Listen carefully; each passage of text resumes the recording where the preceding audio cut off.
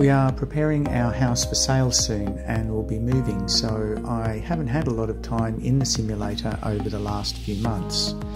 I will share the latest mods I've been working on here and there will be one more video showing the motion platform being disassembled so the room can be returned to a bedroom. I'm very keen to get into DCS. Now, while I love X-Plane and will continue flying it, DCS offers a different experience and lots of new things to learn. My first few flights in DCS were in the Huey, but it soon became clear that the Pro Flight Trainer Puma helicopter controls were too restrictive and limited my choices of aircraft in DCS. So I simply unbolted the Puma and added the Thrustmaster A10 Warthog HOTAS. This is a serious joystick and throttle, you can tell that even before you take it out of the box as it's so heavy. Uh, there are many unboxing and review videos on this fantastic joystick, so I'm not going to sing its praises here. Uh, the joystick has a large centering spring which I removed and saved in a sealed plastic bag so it could be reattached at some point in the future. The split throttle makes emulating the cyclic and collective easy and it didn't take long to get used to this new way of controlling the helicopter. The Puma is a really excellent controller for helicopter flying and no amount of mods to a joystick will compare to its precision and ease of flying. I spend a lot of time experimenting with pedals to get the most comfortable position while being able to get my legs under the crossbar. And the main consideration was that it had to be very strong and not wobble from side to side. I added heavy duty brackets to uh, which work really well uh, and I still haven't painted it but I have settled on this configuration and will finish it off when I reassemble it. I now feel confident to rest the full weight of my feet and legs in the pedals and the design doesn't hit the two front actuators even in the most extreme positions.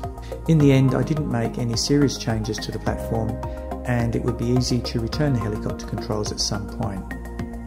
After using the joystick for a while I wondered if it might be easier to use if the shaft between the base and the handle was extended a bit. I went to Thingiverse and downloaded a Warthog extension and 3D printed it. However, the extension cable I got from eBay wouldn't fit inside the extension tube.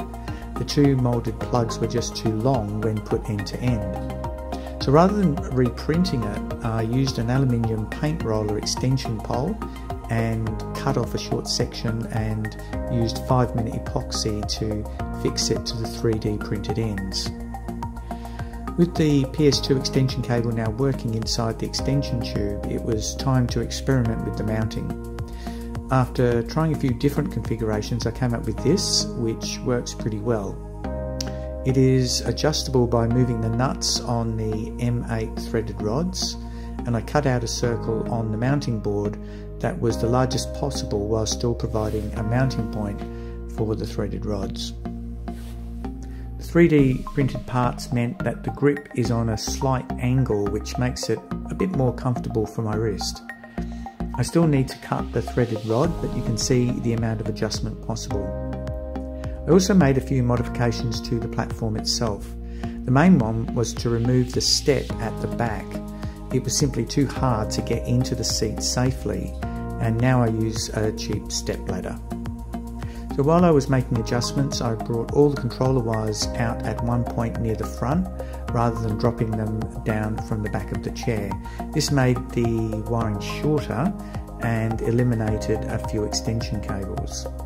Well, that's all I have for now. Uh, I will document the dismantling of the platform and upload that in a week or so.